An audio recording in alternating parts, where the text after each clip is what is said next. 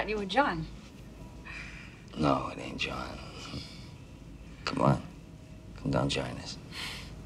I'm not feeling well, thank you, though.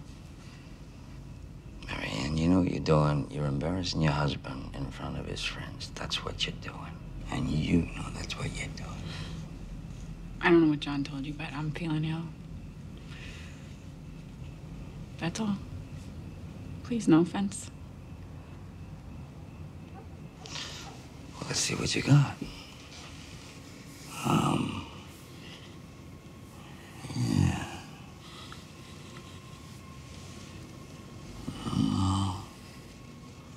You don't feel warm. Got any chills? Because normally you get the chills before the flu comes on, you know? Any soreness there? What are you feeling there? You feel something? I don't feel any swollen glands there.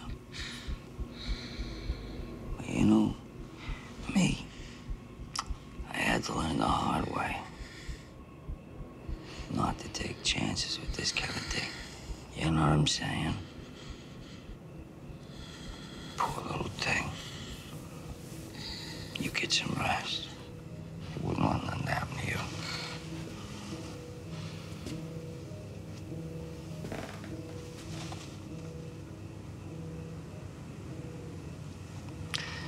John's lucky, man.